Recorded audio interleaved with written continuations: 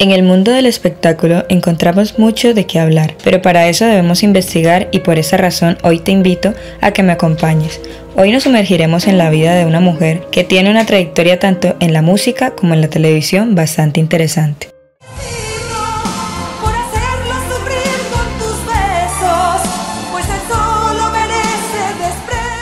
Laura Aurora Flores Eras es una figura destacada en el mundo del espectáculo mexicano, reconocida por su versatilidad como actriz, cantante y conductora de televisión. Su participación en telenovelas como El alma no tiene color la ha llevado a la cima del éxito, ganándose el aprecio del público por su talento y carisma. Su trayectoria profesional refleja su dedicación y pasión por el arte escénico, dejando una huella imborrable en la industria del entretenimiento. Ella es víctima igual que yo.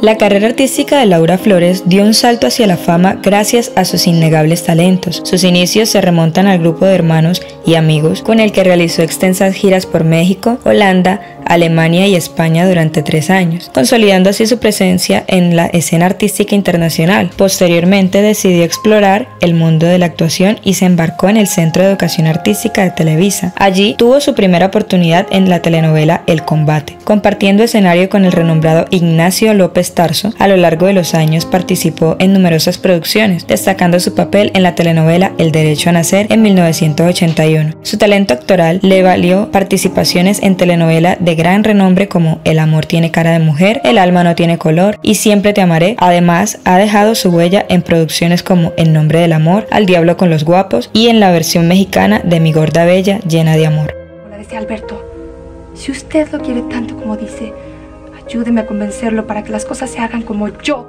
aunque Laura Flores se destacó principalmente en el mundo de la actuación, la música siempre estuvo entrelazada con su carrera artística. En 1980 tuvo la oportunidad de interpretar algunas canciones en inglés para el programa de Verónica Castro, Noche a Noche, marcando así sus primeros pasos en la escena musical. Desde entonces, su discografía ha florecido con numerosos éxitos. Su primer álbum como solista, Barcos de Papel, lanzado en 1980, incluía temas como Qué Noche, Me colé en una fiesta y Te amo, los cuales resonaron como en público y la catapultaron como cantante al principio de la década en los 90, tras lanzar varios álbumes exitosos como Preparatoria, De Corazón a Corazón, Fruto Prohibido, Para Vivir Feliz y Eterna Navidad. Laura lanzó su álbum Desde Hoy, que contenía éxitos igualmente populares como Entre el Bien y el Mal, Si yo pudiera detener el tiempo y No te puedes ir. Veamos algunos de sus éxitos musicales más sonados.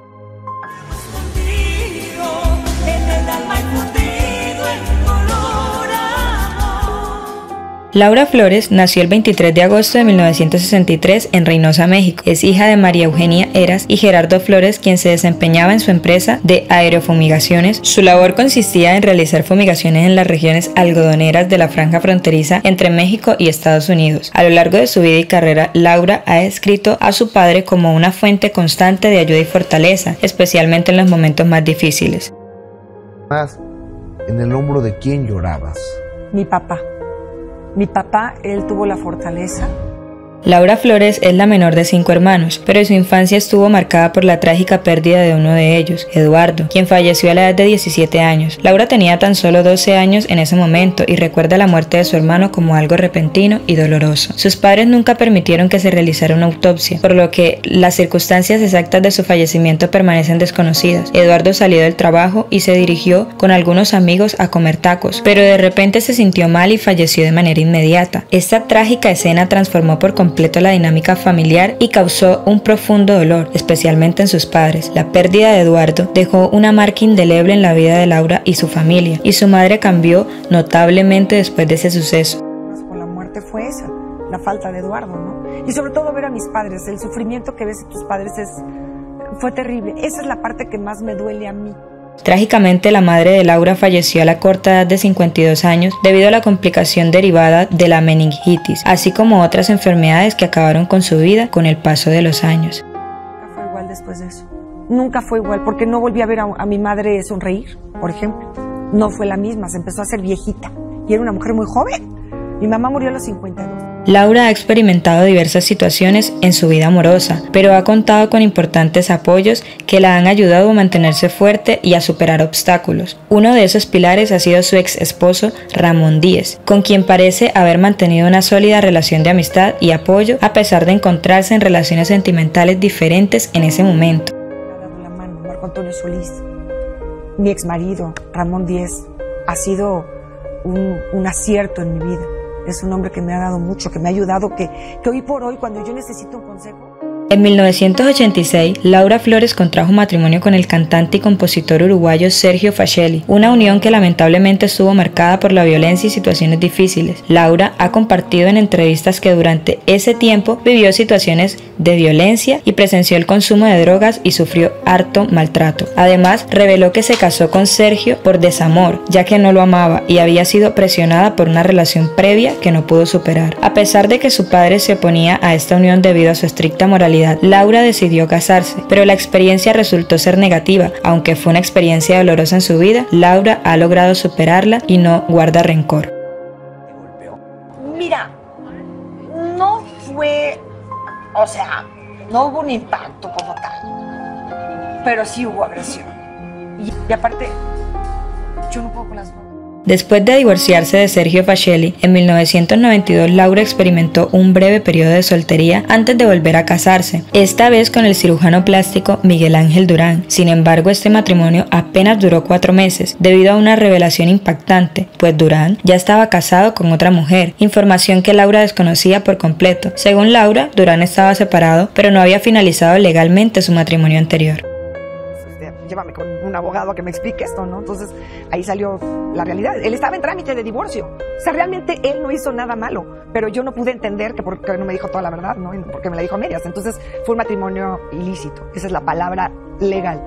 Y tronó. Ay, pues por supuesto. No, tomamos hecho en 1998, Laura Flores contrajo su matrimonio más duradero con el empresario José Ramón Díez. Durante su unión, que se extendió desde 1988, la pareja fue bendecida con el nacimiento de dos hijos, María y Patricio. Sin embargo, el camino hacia la maternidad no fue fácil para Laura. Experimentó nueve procesos de fertilización in vitro y enfrentó dos abortos, lo que evidencia los desafíos emocionales y físicos que atravesó en su deseo de ser madre. A pesar de su amor por sus hijos y su deseo de ampliar la familia, la llegada de su hijo Patricio marcó un punto de inflexión en su matrimonio. Laura había considerado la adopción como una opción y estaba decidida a tener otro hijo, pero la falta de interés de su esposo en ampliar la familia y su distanciamiento llevaron a la ruptura de su relación en 2007. Otro hijo. Él ya no lo buscaba, él ya no lo deseaba, y yo sí. Y estirar las cuerdas tanto, pues no funciona. Laura posee un amor inagotable que se refleja en su anhelo de ser madre y en su dedicación para amar a sus hijos. Esta pasión la llevó a tomar la decisión de adoptar a Alejandro y a Ana Sofía, quienes según afirma fueron la mejor elección de su vida. Para Laura, sus cuatro hijos ocupan un lugar igualmente importante en su corazón y ella demuestra y practica su amor hacia ellos a diario mediante expresiones y acciones concretas. No, y lo voy a hacer. Y lo que empezó como un compromiso moral con Dios, acabó siendo el amor de mi vida, que es mi Alejandro. Y no conforme, adopté a la niña. O sea, si, hablamos de, de, cuentas claras, yo ya estaba a mano, ¿no? Pero te juro que para mí adoptar a Ana Sofía fue otro regalo más grande. En el año 2013, Laura Flores contrajo matrimonio con el ingeniero aeronáutico Eduardo Fonseca. Sin embargo, este matrimonio resultó ser breve. Durante apenas cinco meses, Laura reveló que se casó más por soledad que por amor, ya que no sentía un verdadero amor por Eduardo. Esta sinceridad llevó finalmente al divorcio entre la pareja. Oye, quiero hablar contigo, ya no te amo. No, no, digo, todas estas cosas son graduales. Digo, de repente hay cosas que son. Ya no hay forma de esconder el sol con un dedo, ¿no? Entonces le dije, ¿sabes qué? No es, esto no está bien. Esto no está bien, vamos a darnos un tiempo y nos separamos y, y de la separación vino automáticamente el divorcio. Cinco meses estuve casado. O sea, no se firmó antes porque la, las leyes no lo permitían. En abril de 2019, Laura Flores contrajo matrimonio nuevamente con Matthew Flannery, con quien estuvo casada durante cuatro años. La pareja hizo pública su relación y revelaron que su boda fue una ceremonia muy sencilla. A pesar de haber tenido una relación muy bonita, decidieron separarse de mutuo acuerdo. Se rumorea que la separación podría haber sido influenciada por el estado de salud de Matthew, ya que Laura reveló que él fue diagnosticado con inmunodeficiencia como un variable en noviembre de 2022, poco antes de anunciar su separación. Sin embargo, es probable que la pareja haya tenido sus propias razones para poner fin a su relación. Afortunadamente terminaron en buenos términos y mantienen una buena amistad. Los años te sirvan de algo para, para poder este, aguantar eh, los tragos pesados y, gordos porque no es fácil. Pero, ¿sabes? Estoy, estamos tranquilos los dos. Creo que fue la mejor decisión después de mucho pensarlo, después de muchas situaciones. Y lo más importante es que se quede el respeto y, y un amor profundo y real y leal. Y él sabe que yo estoy ahí para él y yo sé que él está ahí para mí. Oye, Laura, a los 60 años de edad, Laura Flores ha dejado una huella significativa en el mundo del entretenimiento, especialmente a través de su participación en diversas telenovelas que han impactado a muchas personas. Una de las actuaciones más recordadas de Laura Flores fue en la telenovela infantil Cómplices al Rescate en 2002, donde interpretó el papel de Rocío Cantú.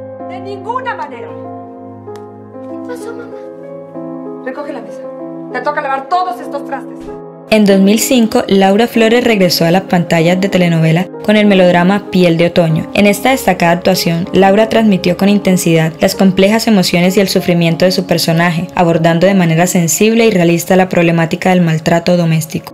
pero quédate, mi amor. Santiago, no te vayas nunca más de mí.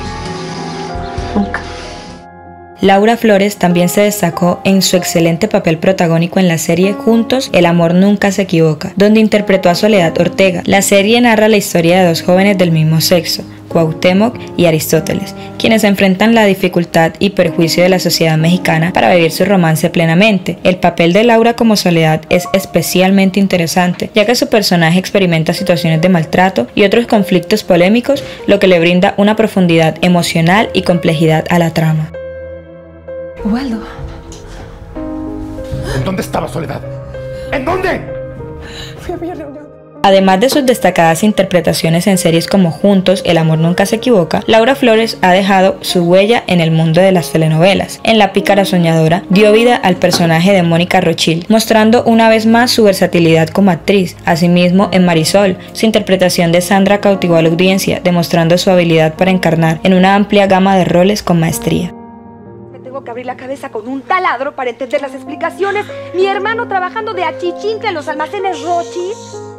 A pesar de su exitosa carrera y su talento indiscutible, el nombre de Laura Flores también ha sido objeto de atención por sus numerosos romances, ya que ella prefiere vivir plenamente en lugar de lamentarse. La rubia no parece tenerle miedo al amor y recientemente ha sido tema de conversación en el mundo del espectáculo, ya que apenas a un año después de su último divorcio ha anunciado tener un nuevo novio. En una publicación en sus redes sociales, Laura compartió una foto con la frase Nunca dejes de creer en el amor, insinuando que este nuevo hombre la hace sentir viva y enamorada. Sin embargo, embargo, esta noticia ha generado críticas por parte de algunos cibernautas. El nuevo novio de Laura se llama Scott y parece que el amor está floreciendo en su vida una vez más. A pesar de todo esto es importante recordar que cada persona es dueña de su propia vida y destino y que el hecho de tener una vida personal activa no disminuye en lo absoluto el talento y carisma de Laura Flores.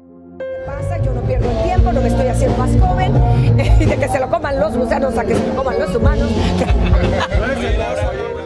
Sin lugar a duda, Laura Flores sigue siendo una figura activa y destacada en su carrera, su papel como madre es elogiado, al igual que su carrera intachable y muy influyente en la industria del entretenimiento mexicano y latinoamericano. Con una trayectoria larga y exitosa, Laura se ha convertido en un ícono para muchas personas, gracias a su versatilidad como actriz y su talento como cantante, tanto en el drama como en la comedia. Ha demostrado habilidades excepcionales, lo que le ha ganado el cariño y la administración del público a lo largo de los años. Su dedicación al trabajo y su profesionalismo son cualidades que suelen destacarse en la opinión pública sobre ella, consolidando aún más su posición como una de las figuras más respetadas y queridas en el mundo del espectáculo. Entonces, nunca te olvides de que somos amigas y que te quiero mucho. ¿Y tú qué opinas? Déjanoslo saber en los comentarios.